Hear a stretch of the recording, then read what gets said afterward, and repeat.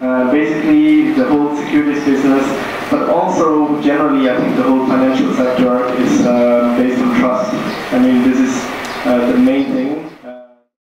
မြန်မာနိုင်ငံမှာဗန်နာရေးနဲ့ပတ်သက်တဲ့ကျွမ်းကျင်သူအများအပြားလိုအပ်နေတာမို့ Building Myanmar's Financial Architecture ဆိုတဲ့ဟောပြောပွဲဟာမြန်မာနိုင်ငံရဲ့အနာဂတ်ဗန်နာရေးကဏ္ဍအတွက်ဘလောက်အထောက်အကူဖြစ်ခဲ့လဲနှစ်ပေါင်းများစွာတကားပိတ်စနစ်နဲ့အုပ်ချုပ်ခံခဲ့ရတဲ့မြန်မာနိုင်ငံဟာ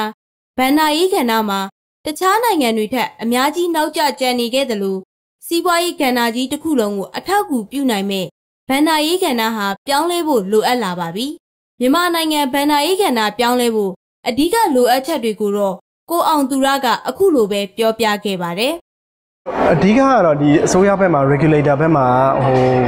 regulator ဆိုတာတစ်မျိုးတည်းမဟုတ်ဘူးပေါ့နော်ဒီဗဟိုဘဏ်ရှိမယ် Securities and Exchange Commission ရှိမယ် insurance ဆိုလည်းဒီ insurance supervisory board တွေပါရှိမယ်ပေါ့အဲ့တော့အဲ့ regulator ကဟိုဖြစ်ဖို့လုပ်မယ်သူမှဟို policy တစ်ခုရှိဖို့လုပ်မယ်ပေါ့နော်သူတို့ကထားလိုက်ပါတော့ဒီလာမယ့်9နှစ်မှာဘာတွေလုပ်ချင်လဲဘယ်ချိန်အောင်ဘာလုပ်ချင်လဲသူတို့ timeline ကဘယ်လိုရှိလဲဟိုပြီးတော့အဲ့ဒါကိုတေချာ plan နဲ့သတ်မှတ်ပြီးတော့အဲ့ plan တိုင်းကို execute လုပ်သွားဖို့ရည်ကြီးရလို့ထင်ပါတယ် Building Myanmar's Financial Architecture ဟောပြောပွဲကိုတော့ The United Nations Educational Scientific and Cultural Organization နဲ့ရန်ကုန်စီးပွားရေးတက္ကသိုလ်တို့ပူးပေါင်းကျင်းပတာဖြစ်ပြီးဗဟိုဘဏ်ဒုဥက္ကဋ္ဌဦးဆက်အောင်အပါအဝင်လက်ရှိအောင်မြင်နေတဲ့ပြည်ရင်းပြည်ပကစီးပွားရေးသမားတွေလည်းပါဝင်ခဲ့ကြပါတယ်။ဆန်ဒီနိုင်လာယင်းနှိမ့်မြုပ်နှံမှုကုမ္ပဏီရဲ့ပူးတွဲတည်ထောင်သူတဦးဖြစ်တဲ့မတ်တီရီတန့်မွန်ကတော့ဈေးကွက်စီးပွားရေးကိုစပြီးကျင့်သုံးလာတဲ့အချိန်မှာ လက်ရှိစနစ်တွေကဈေးကွက်စီးပွားရေးနဲ့မညီတာတွေအများကြီးရှိနေတယ်လို့ဆိုပါတယ်။အစိုးရသစ်လက်ထက်မှာပြောင်းလဲတော့မဲ့မြန်မာနိုင်ငံအနေနဲ့တခြားနိုင်ငံတွေကအတွေ့အကြုံနဲ့တင်ယူစရာတွေရှိသလိုဗန်နာအေးကဏ္ဍမှာဆိုရင်လည်းတိုးတက်လာဖို့ရှိတယ်လို့လည်းသူကဆိုပါတယ်။